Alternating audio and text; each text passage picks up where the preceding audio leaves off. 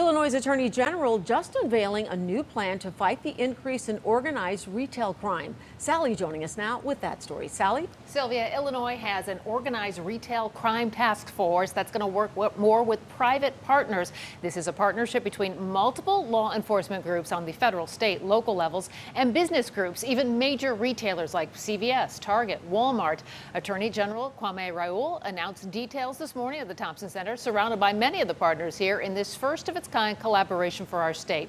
He says retail theft jumped dramatically in the last two years, getting more violent, more sophisticated. And the Attorney General says during the looting last year, they saw that there's an organized crime element helping to fuel that jump in retail crime.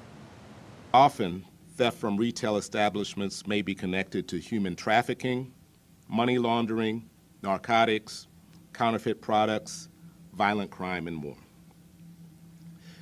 whether they occur at auto dealers, pharmacy stores, big box stores, or at a store along the Magnificent Mile.